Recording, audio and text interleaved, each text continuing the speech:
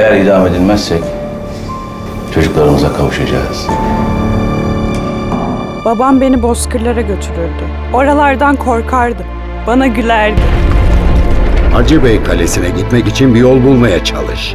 Orada komutanı bul, sonra da ona bu mektubu ver. Bu nedir? Neden kimse bize yardım etmiyor? Bizi kurtarmaya gelmeyecekler mi? Oğlum iki yıl önce savaşa gitti.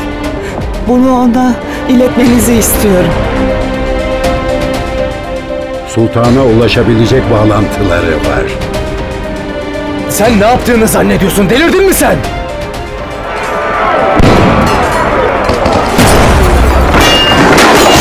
Yaradan'ın kurtuluş için bize ne göstereceğini bilmiyorsun.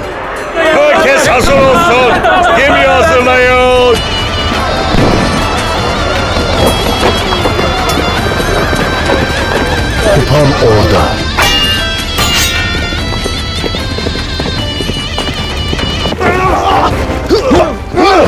Şimdi elimdesin.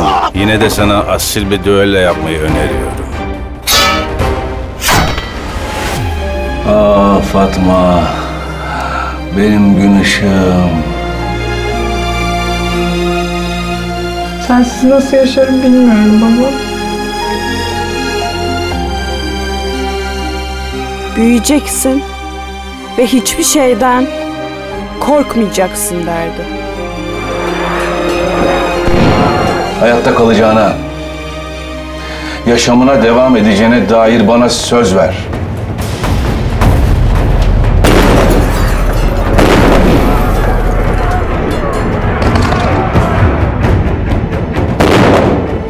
Sultana ulaşmayı deneyeceğiz.